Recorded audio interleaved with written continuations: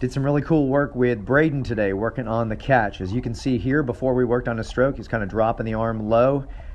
So we worked on engaging the catch closer to the surface, which you'll see in just a minute. Okay, here's the same video, but in slow-mo this time. This will help you really see how the arms were dropping down before they were catching.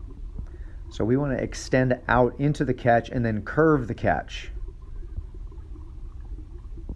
Okay, here we go after he did some work on his catch, extending closer to the surface, curving the catch, getting the fingertips down earlier, keeping the elbow high. Okay, coming back the other way, again, extending out closer to the surface, engaging the catch. We want to curve the arm almost like the arm is wrapping over a ball. So the palm is pressing back through the hips.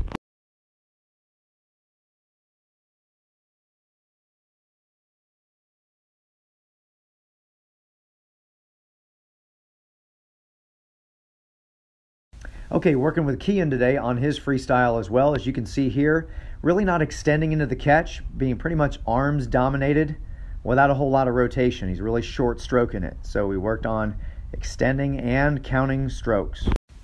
All right, here we go. 13 strokes as opposed to 18 strokes. Extending into the catch, rotating the body, being body driven instead of arms driven. Much more efficient, really holding the water. Nice work.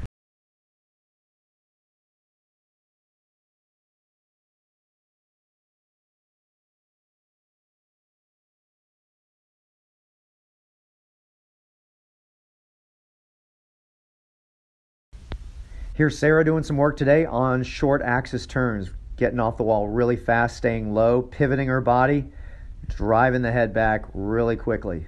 Good work. Okay, let's watch this in slow mo. One of the most important things you can do is focus on driving your head straight back away from the wall rather than lifting it up. Notice how it goes straight back toward the other end of the pool. No time wasted driving it up and then back down.